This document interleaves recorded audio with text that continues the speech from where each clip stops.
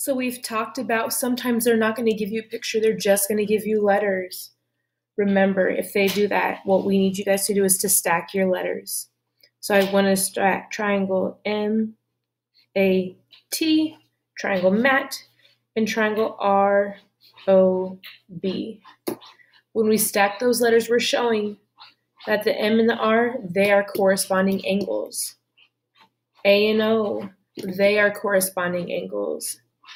T and B, they are corresponding angles. They all go with each other. You can also use this to see side links. So I would see that side MA would be similar to side RO. Side AT would be similar to side OB. And then if I had side MA, or MT, excuse me, that'd be similar to side RB. So use these letters, stack them up to see the similar angles and the similar side links.